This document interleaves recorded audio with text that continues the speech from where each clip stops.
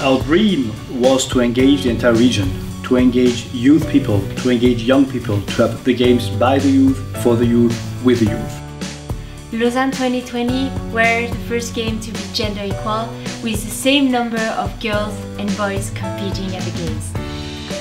Lausanne 2020 was the champion of youth involvement. Uh, youth people created the pictograms, the podiums, the cauldrons and the official song.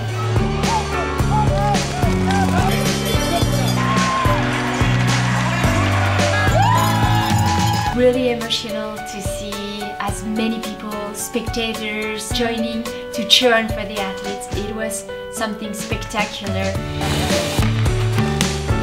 The athletes competing at Lausanne 2020 delivered a fantastic performance. We have to be respectful of the environment.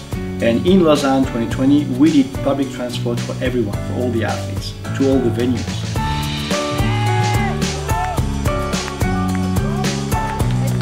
The Youth Olympic Games are all about innovation and trying new things.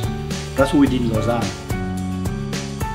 We went on the frozen lake to have speed skating, natural outdoor. So we did try a lot of things, new sports, uh, ski mountaineering, and I think yes, we tried to show the world we can do new, new games with having no new constructions just for the games, no new venues, nothing new just for the games. Everything was existing or accelerated for the games. more than 160,000 kids, and half of them, 80,000 uh, kids, uh, had the opportunity to come to the games, um, to have the transport, sport initiations, and also tickets for the competitions of Lausanne 2020 for free.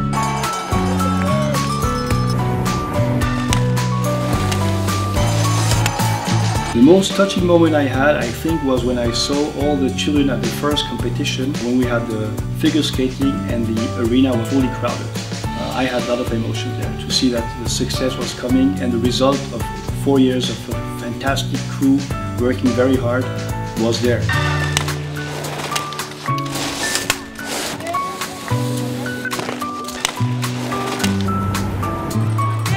Many touching moments for me at Lausanne 2020 but if I only have to keep one I'll remember the first evening at the medal ceremony.